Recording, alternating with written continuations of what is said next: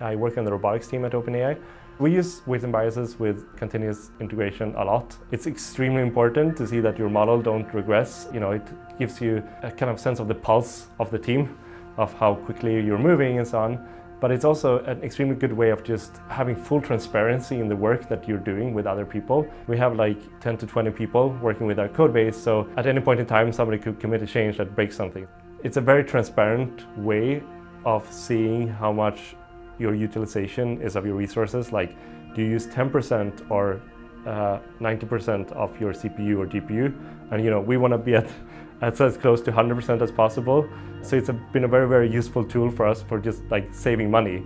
And you know, it's, you can call out your friend, like, why are you only using 10% of the GPU? You can be running 10 times as many experiments.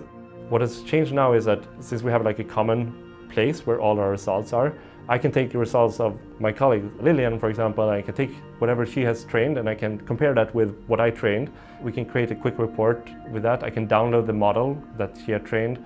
I can go in and look at other metrics very easily since I have all the raw data.